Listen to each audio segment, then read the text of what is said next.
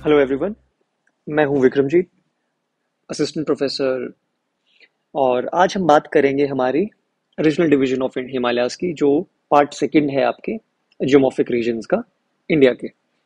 देखिए, ये बहुत इंपॉर्टेंट क्वेश्चन है इन कंटेक्स्ट ऑफ़ आपके स्क्रीनिंग एग्ज़ाम्स में यूजीसी नेट या फिर आप जब भी कभी बहुत डिटेल्ड अगर तैयारी कर रहे हैं जोग्राफी ऑप्शनल तो आपको कहीं ना कहीं चीज़ें हेल्प कर पाएँगी। सो so, बात आ रही है प्रादेशिक जो हमारा विभा अपना विभाजन किया गया है हिमालयास का उसके बारे में यानी प्रदेश के आधार पर हिमालयास को वर्गीकृत किया गया था। चलिए शुरू करते हैं। तो देखिए आप स्क्रीन पे राइट टॉप कॉर्नर में एक व्यक्ति को देख सकते हैं। ये है अंग्रेज़ी जो फौज है उनके colonel sir Sydney Burrard. Sir Sydney Burrard, इन्होंने पूरे के पूरे जो हमारे हिमालयाज हैं, जो स्क्रीन पे हमें देखने को मिल रहा है फोर डिविजन्स में यहाँ पे डिवाइड कर दिया था। पंजाब हिमालयाज कुमायूं हिमालयाज, नेपाल हिमालयाज और असम और ब्रह्मपुत्र हिमालयाज। अभी देखिए कि रिवर्स के बीच का जो एरिया है, वो यहाँ पर हम बहुत अच्छे से देख पा रहे हैं। इंडस और सतलुज के बीच में पंजाब, उसके बाद कुमायूं हिमालयाज है आपका, सतलुज और जो काली रिवर है, जिसे शारदा भी कहते हैं, उसके बीच में नेपाल, काली से तिस्ता और तिस्ता से ब्रह्मपुत्र तक असम हिमालयाज ये जो डिवीज़न है आपका, ये है रिवर वैलीज, यानी दो कोई भी वैलीज है, उन वैलीज के बीच में जो हिमा, आपका एक्सटेंट है, या हिमालयाज एग्जिस्ट करते हैं, वो डिवीज़न, हम क्या कह सकते हैं रीजनल डिवीज़न है। स्क्रीन पर आप देख पा रहे हैं a sketch of geography and geology Himalayas mountain and Tibet colonel sir Sydney Burrard right तो काफ़ी ज़्यादा इंपॉर्टेंट है अगर हम सर्वे ऑफ़ इंडिया के कंटेक्स्ट में देखते हैं इन पर्सन का कंट्रीब्यूशन 1912 में एक थ्योरी दी थी इस थ्योरी का नाम था compression theory for the genesis of Himalayas यानी हिमालयाज हिमालयाज किस तरीके से ओरिजिनेट हुए हैं उनका निर्माण कैसे हुआ है? तो संकुचन जो सिद्धांत है वो आपका यहाँ पे कर, कर्नल सिडनी बुराड ने प्रस्तुत किया था। अब हर एक जो हमारा हिमालयाज है, इन पार्ट्स को हम यहाँ पर थोड़ा सा आगे फर्दर समझने की कोशिश करते हैं। पंजाब हिमालयाज। देखिए, मैंने यहाँ पे पंजाब, पुराने वाला जो पंजाब है, जो ब्रिटिश टाइम में है, उससे पहले यूज़ किया जाता है।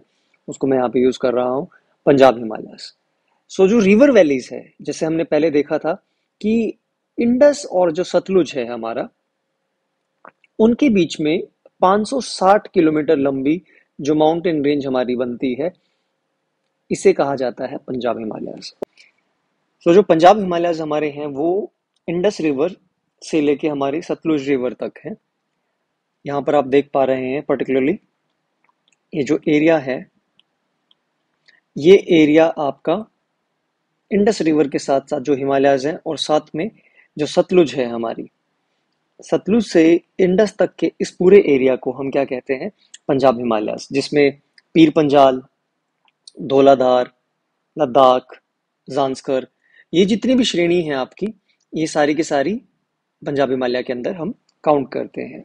सो so, दो रिवर वैलीज के बीच का जो हमारा पूरा हिमालयाज है ये कहा जाता है इसे कहा जाता है पंजाब हिमालयाज। लद्दाख पीर पंजाल धौलाधार रेंज ये सारा इसी का पार्ट है। अब एक इंपॉर्टेंट जो प्रोमिनेंट फीचर है कि यहाँ पर जितना भी आपके माउंटेन्स हैं उनका जो स्लोप है वो काफ़ी स्टीप है। स्टीप स्लोप्स हमें याद होगा कि काराकोरम रेंज में आप कमेंट में करके बत, कमेंट करके बताइएगा कि कौन सा ऐसा माउंटेन है जिसका स्लोप बहुत ही ज़्यादा शार्प है और वो पंजाब हिमालय का पार्ट है। तो मूविंग हेड की मैक्सिमम जो रेनफॉल होता है देखिए वो आपके वेस्टर्न डिस्टर्बेंसेस होता है ना कि मॉनसून से। मॉनसून से यहाँ पर आपको ज़्यादा रेनफॉल नहीं मिलता, क्योंकि यहाँ तक जो बारिश हमारी आती है, वो वीक हो जाती है, यानी उसके अंदर जो मॉइस्चर है वो कंपेरेटिवली कम है। द मोमेंट अगर हम देखें कि वेस्टर्न अगर फ्रंट से आपकी कोई भी ऐसा एयर मास जिसके अंदर बहुत सारा मॉइस्चर है, वो यहाँ पर बिल्कुल बरसेगा। रिसेंट की जो फ्लड्स आई हैं हमारे 2023 के अंदर, और खासकर जिसने हिमाचल प्रदेश पंजाब को काफ़ी नुकसान पहुँचाया है। उसका एक बड़ा रीज़न है ये वेस्टर्न डिस्टर्बेंसेस का यहाँ पर इस समय आना।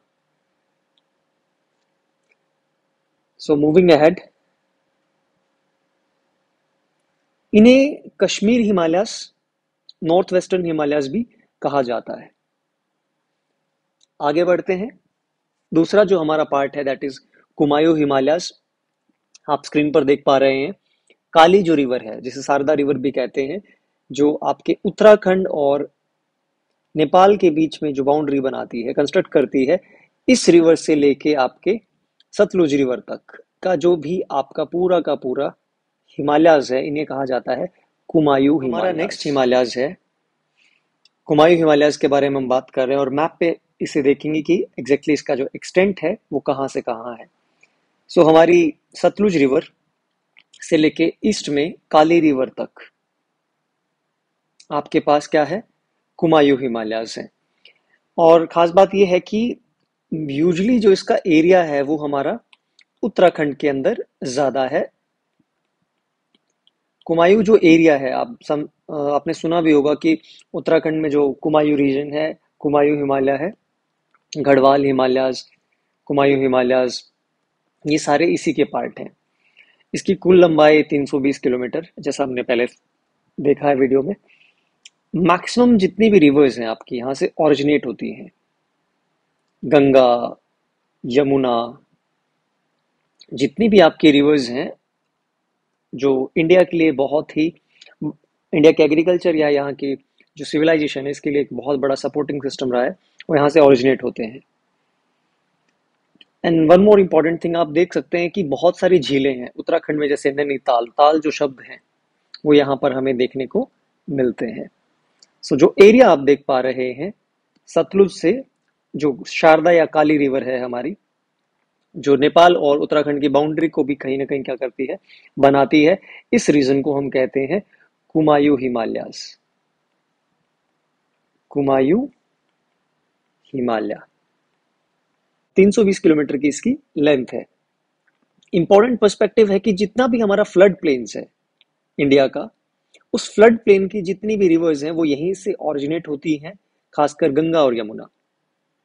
तो उस पर्सपेक्टिव में कुमायूं हिमालयस हमारे लिए बहुत ही इंपॉर्टेंट है। काफ़ी सारे ग्लेशियर्स यहाँ पर हमें देखने को मिलते हैं, बहुत सारी लेक्स हैं यहाँ पर। जैसे आपने देखा होगा उत्तराखंड में नैनीताल, जहाँ पर भी शब्द आते हैं ताल। लगभग कुल मिला के 300 से 400 के बीच में आपके पास उत्तराखंड के अंदर ही लेक्स हैं, छोटी या उनसे थोड़ी सी बड़ी लेक्स अब बात करते हैं नेपाल हिमालयास की। देखिए, नेपाल में ज़्यादा पार्ट होने की वजह से इसको नाम दिया गया नेपाल हिमालयास काली जो रिवर है, जिससे हमें बात की थी, जो उत्तराखंड और नेपाल के बीच में बहती है, वहाँ से तिस्ता रिवर जो तिस्ता रिवर यहाँ पर आप देख पा रहे हैं, और काली रिवर यहाँ पर है आपके पास। मैं इसे रेड से कर देता हूँ यहाँ पर। ये जो पार्ट है हमारे पास दिस इज़ आर नेपाल हम बात कर रहे हैं हमारे नेपाल हिमालयस की जिसका एक्सटेंट शारदा या जो हमारी काली रिवर है वहाँ से तिस्ता रिवर तक यानी कि आपका ये पूरा का पूरा जो हिमालयस है तिस्ता रिवर तक इस पूरे एरिया को हम क्या कहते हैं? नेपाल हिमालयस कहते हैं। खास बात यह है कि एलिवेशन अगर हम ऊंचाई की बात करें तो यहाँ पर 8000 मीटर की हमें क्या देखने को मिलती है? पिक्स देखने को मिलती हैं। उतनी ऊंचाई, यानी हमारे काफ़ी हाई जो माउंटेन्स हैं, जैसे कि माउंट एवरेस्ट अन्नपूर्णा, ये सारी की सारी हमें इस पार्ट में देखने को मिलती है। लेंथ भी बहुत बड़ी है, अगर हम देखें यहाँ पर हिमालयस के रीजनल डिवीज़न में 800 किलोमीटर की लेंथ है, जो काफ़ी बड़ा भाग है। ये हमने डिस्कस कर लिया कि माउंट एवरेस्ट और अन्नपूर्णा भी यहीं पर हमें देखने को मिलती हैं। इन द लास्ट हम बात कर रहे हैं असम हिमालयास की। तिस्ता और ब्रह्मपुत्र के बीच में जो हमारा रीजन है, इस रीजन को हमने कहा है असम हिमालयास। असम, अरुणाचल प्रदेश सिक्किम, भूटान, इस पर्टिकुलर पार्ट में हमें देखने को मिलता है। इस पार्ट को हम कहते हैं असम हिमालयास। इसको तिस्ता नदी से, यानी जो हमारी तिस्ता रिवर है, इससे लेके जो ब्रह्मपुत्र है, ये पूरा का पूरा एरिया आपका कवर होता है असम हिमालयास में। इसकी सबसे ऊँची चोटी कंचनजंगा। देखिए, इंडिया सिक्किम, इंडिया में सिक्किम, अरुणाचल प्रदेश, असम, और साथ में अगर हम बात बात करें टोटल तो भूटान भी इसका पार्ट है। बहुत ज़्यादा फॉरेस्ट है इस एरिया में एक्सटेंसिव फॉरेस्ट है, क्योंकि मॉनसून काफ़ी स्ट्रोंग रहता है इस पर्टिकुलर पार्ट में। और एक अनदर जो इम्पोर्टेंट फैक्टर होता है दैट इज़ जूम कृषि। यानी एक जगह पे कुछ चीज़ें बोई, उसके बाद उसे काट लिया गया, फिर यूज़ करा, आगे बढ़ गए, जंगल साफ़ किया, फिर आगे बढ़ गए that is slash and burn agriculture Sydney Burrard ने न केवल हमारा रीजनल डिस्ट्रीब्यूशन किया था हिमालयास का but he also divided Himalayas based on some human lines उन डिविजन्स को उन्होंने नाम दिया हॉरिजॉन्टल डिस्ट्रीब्यूशन ऑफ़ हिमालयास देखिए, अगर हम हिमालयास को यहाँ पर देख पा रहे हैं, एक इमेज हमारे पास ये है, एक इमेज हमारे पास ये है। तो जो सबसे पहले आता है हमारा पार्ट जो सबसे पहले टकराया था, वो ये पार्ट है आपका यानी यहाँ पर हमारे पास तिब्बतन या यूरेशियन प्लेट है। ये हमारी इंडियन प्लेट मूव कर रही है इस डायरेक्शन के अंदर नॉर्थ की तरफ़। यहाँ पे यूरेशियन प्लेट ये इंडियन प्लेट तो जो सबसे पहली हमारी पीक बनती है, वो होती है हमारी ट्रांस हिमालयाज वाला जो लाइन है। अब ट्रांस हिमालयाज और ग्रेटर हिमालयाज जो हमारे ग्रेट हिमालयाज हैं, इनके बीच में जो लाइन है इस लाइन को कहते हैं I S Z Indus Tsangpo suture zone जो है, या इंडियन सचर जोन जिसके अंदर काराकोरम लद्दाख जानस्कर कैलाश ये हमें पीक्स देखने को मिल जाएँगी। आफ्टर दैट अगर हम थोड़ा सा नीचे जाएँ तो हमें यहाँ पर नज़र आ रहा है M C T M C T है मेन सेंट्रल थर्स्ट ये देखिए हायर हिमालयास और लेसर हिमालयास के बीच में जो डिवाइड करते हैं this is our lesser Himalayas ये हमारे पास हायर हिमालयाज है और इनके बीच में जो ये पार्ट है, यानी ये डिवीज़न है, ये फ्रैक्चर है, इसको नाम दिया गया एमसीटी यानी मेन सेंट्रल थर्स्ट और इसके बाद आप स्क्रीन पर देख पा रहे हैं एम बी टी मतलब मेन बाउंड्री थर्स्ट एमबीटी देखिए आप कहाँ पे लेसर हिमालयाज और आपके शिवालिक्स के बीच में। ये शिवालिक्स है, दून आपको नज़र आ रहा होगा। ये शिवालिक्स है, ये आपका लेसर हिमालयाज है। इनके बीच में जो ये आपको डिवीज़न नज़र आ रहा है, ये गैप नज़र आ रहा है, इसको उन्होंने नाम दिया गया एमबीटी यानी मेन बाउंड्री थर्स्ट, मध्य हिमालय को शिवालिक हिमालय से विभाजित करने वाली रेखा, जिसके अंदर हम धोलाधार, पीर पंजाल, इन रेंजेस को देख पाएँगे। और बहुत सारी वैलीज हैं, जहाँ पे आपको बहुत सारी ग्रीनरी देखने को मिलेगी।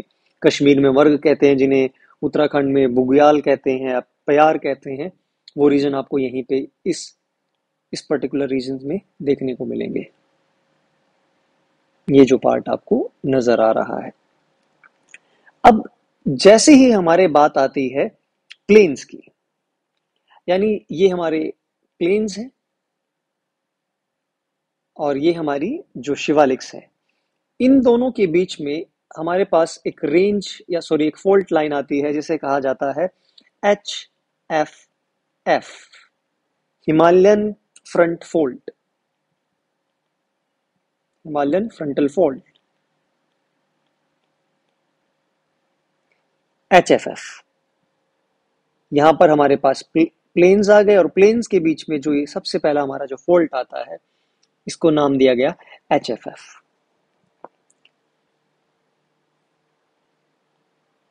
तो this was regional division and horizontal distribution या division of Himalayas by sir Sydney Burrard बहुत इंपॉर्टेंट क्वेश्चन है। Next will do S P Chatterjee जो इंडियन है, उनके द्वारा जो किया गया हमारा regional distribution of Himalaya thank you so much stay tuned और मिलते हैं आपसे नए लेक्चर